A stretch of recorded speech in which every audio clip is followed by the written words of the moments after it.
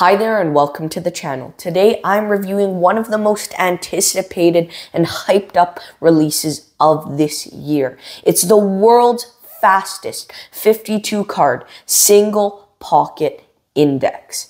Dex by Javier Fuenmayor and Lloyd Barnes. This will open up a completely new dimension to all of your magic as it'll allow you to retrieve instantly in under five seconds, literally any card. To begin with, I'm going to do a quick performance of one of my favorite routines of Dex.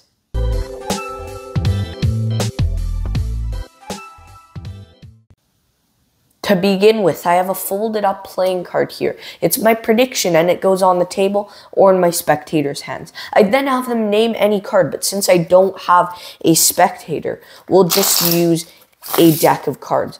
And let's go to a random card, in this case, the Jack of Spades. It really can be a free choice. And then I'd say, is there any reason that you chose to go for the Jack of Spades. Typically, they'll say, No, I don't know why I went for the Jack of Spades. And then I say, It's because you were psychologically influenced. You know how I told you I had a prediction on the table the whole time? Let's unfold the prediction and look at it. The Jack of Spades. Their named card. That's one of my favorite routines with Dex. So let's get right into the review. I hope you enjoyed that performance. There's so many possibilities with Dex. First off, I would like to say a huge thank you to Lloyd Barnes and Javier Fuenmayor for sending me a copy of Dex early in order to review for you guys. Uh, I really love their work. And if you don't know who they are, Lloyd and Javier do some amazing work for Murphy's Magic and amazing magic on YouTube. I'll link their channels in the description down below. Uh, they're incredible. I really suggest checking them out. The thing is, even though this product was provided to me for free to review, I promise this will be an unbiased magic review. If I love Dex, I will say that. If I hate Dex, I will say that. But I wanted to let all magic distributors or creators know if you'd like me to review your product, please contact me at bffanmail at gmail.com. I also do free magic monthly giveaways, and all you have to do to be eligible is subscribe to the channel.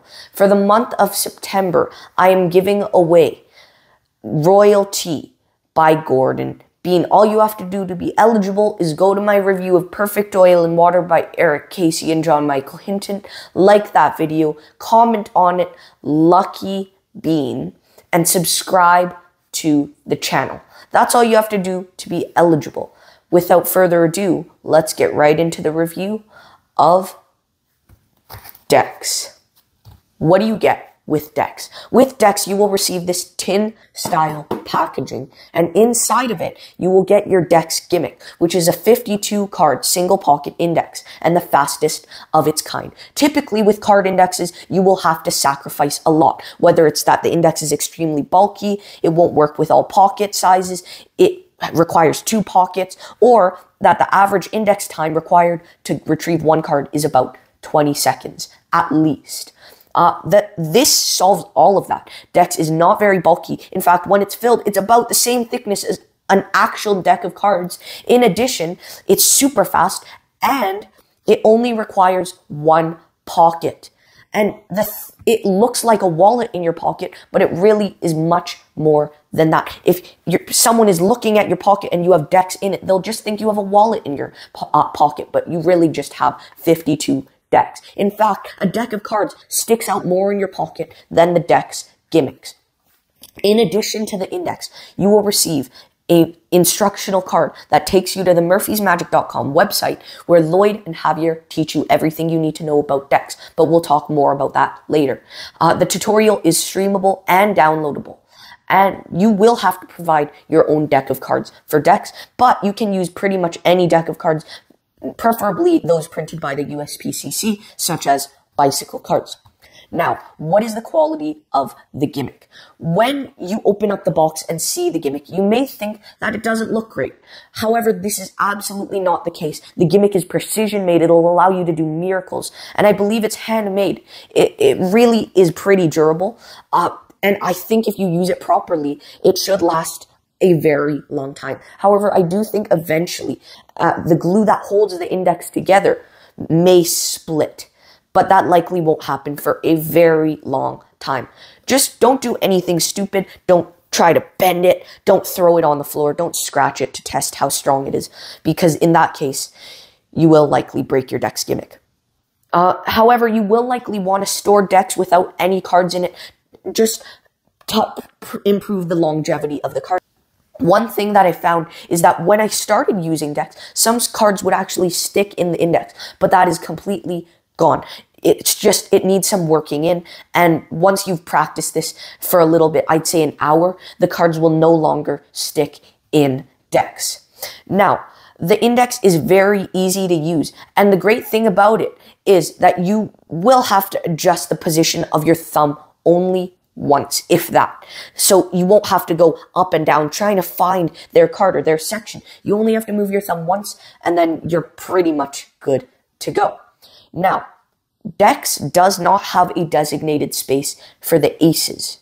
However, if you would like to, you can add the aces into Dex. I don't like to do it because I think it overcrowds Dex, but some people may prefer to do it that way. I personally just say name any card, but not the aces, because that's too common, and everyone understands that. Because if you're to ask a stranger a card, the most likely card they're going to name is the ace of spades, because it's the most powerful card in the deck. Uh, again, it is possible to have the aces. It's just, it takes away some of the space, however. Uh, one thing about Dex is it won't work for all pocket sizes. Uh, I find that as a kid, a lot of uh, pants don't have huge pockets, which is fine. You don't need huge pockets to perform Dex. You just need average sized pockets. Um, but I, when you have very tight pockets that are just the size of less, that barely fit a deck of cards, you will still be able to do Dex, but it will be a very tight fit. However, I think it's very easy to find pants with big pockets, especially if you're an adult. Now, how is the tutorial for Dex? Oh boy. This tutorial is a six hour and a half long. It is taught by Javier Fuenmayor and Lloyd Barnes primarily, the creators of this effect. You can hear them very well. The audio is great. They go through how to set up the index with your own playing cards. They go through how to retrieve cards from the index, how to get each and every one, how to position them in your pocket, how to get them into cop and transfer from cop to classic palm. Um, and Javier will demonstrate how everything works in your pocket by using a clear plastic bag as the pocket. Javier goes through all of the prototypes with Dex and it has came a very long way. It came, it started off as a really thick system and now it's so slim. It's more flexible and that's really Great. Uh, Lloyd and Javier teach the gambler's cop for left and right-handed people. They teach a normal classic palm, lateral palm, and more. They even teach how to switch cards from cop.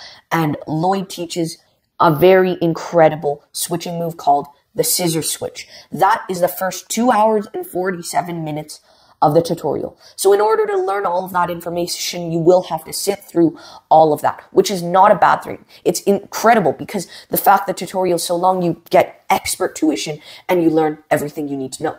That's volume one. In volume two, Javier and Lloyd will teach you a bunch of cool card tricks. They will teach you card to wallet. They will teach you um, an incredible version of in the invisible deck and a brainwave deck where the cards end blank and examinable. They teach you a crazy ambitious card trick. Uh, they teach you card to phone, card to wallet. Uh, they teach you a ton of tricks. Even how to add inside the index 52 folded cards in order to do the routine I performed in the beginning. And that still takes up the same amount of space in the index. That's volume two. In volume two, in volume three, they will teach a bunch more tricks, including tricks with EDC by Craig Petty. They'll teach named card tricks, such as using the name of a person you're performing the card trick on. They'll teach quiver wallet tricks. They'll, they'll teach a ton of tricks. Uh, they teach even torn corner is held onto the audience and they name any card and that is the corner and it matches. They teach so many tricks. Then they move on to volume four. Volume 4 begins with Andrew Niner, the creator of the Boombox, and he will be teaching some incredible routines. Uh, a couple of them are called Lucid and Color Match, and they're very, very good. I, I will definitely be experimenting with the color match idea. I think it's very smart, and I do plan on performing it in a stage show. After that, they go back to Lloyd and Javier, where they teach Jake Keen's idea. In volume five, uh, Lloyd and uh, Javier teach how to practice Dex with a friend or partner, uh, how to do Dex. There's a practice session, and it's just a bunch of cool stuff. That is almost seven hours of tutorial. I know it's a crazy long tutorial.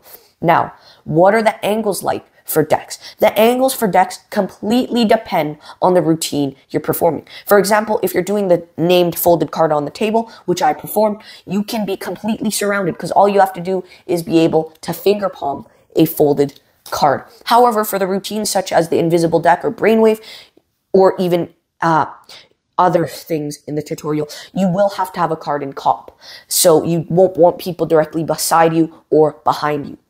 Uh, for some other routines, the angles are a lot better because the card is in classic palm. So you won't have to worry as much about people behind you or beside you. Lloyd and Javier, though, teach you everything you need to know with these moves and where to position your audience for the correct audience management. Are there any live performances in the tutorial? Yes, there are live performances in the tutorial.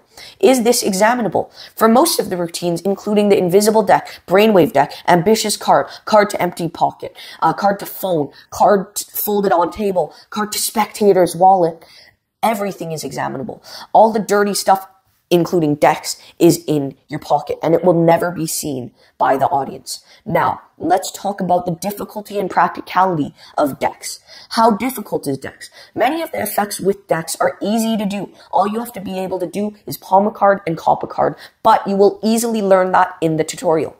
Uh, you will want to practice retrieving the card from Dex as quick as possible time is not as important as the timing. You'll want to time perfectly when your hands come out of your pocket so you're not just going in and out, which you could do.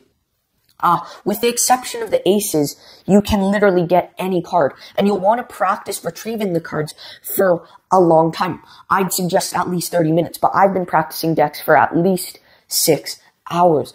And the thing is, you will want to not only practice retrieving the cards out of Dex, but also the palming and the copying of the cards because that makes it a lot easier if you're doing it in the mirror to see what angles the copped card would flash.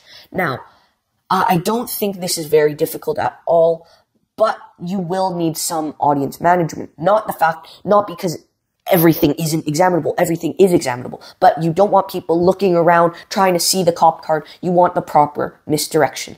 How practical is Dex? Dex is very practical and can be done very in a bunch of different atmospheres, including close-up, parlor, restaurant, or even stage. I do think Dex plays best in real world situations, as over the screen, there's less natural misdirection, time misdirection, or need for you to even put your hands in your pocket. Whereas in real life, it's justified, because everyone has their hands in their pockets. And also, if you flash on screen, your spectators are more likely to see it than if you flash in person, because they might just think it's a speck of white in real life. Uh, it, even though it is very practical, you won't be able to do um, the m- many different routines of Dex at the same time. I'll explain what I mean. You'll be able to do the brainwave, ACAAN, invisible deck, ambitious card, card to phone, card to wallet, and card to pocket. But you won't be able to do uh, card to table unless you modify all the cards, which is fine. But then you'll only be able to do folded card to table at least at a time. Then you'll have to take out the modified cards and add a new deck of cards to Dex in order to perform those effects. So that's the only issue I guess I could see. Uh, for example, you couldn't do the EDC routine, card folded on table, and brainwave effect all at once. Is there any DIY with Dex? There is no DIY with Dex, but you will want to provide your own decks of cards. I typically use bicycle cards, but pretty much any deck can work. Uh, I think USPCC printed cards work the best.